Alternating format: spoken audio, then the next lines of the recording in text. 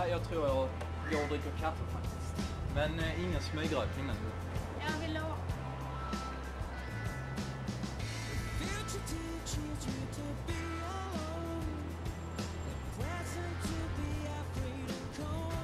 Eh, vill du köpa chokladcigg?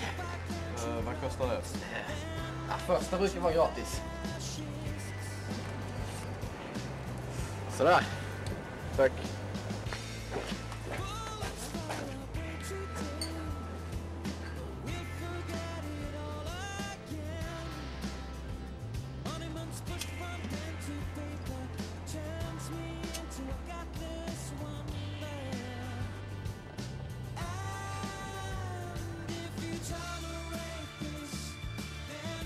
children.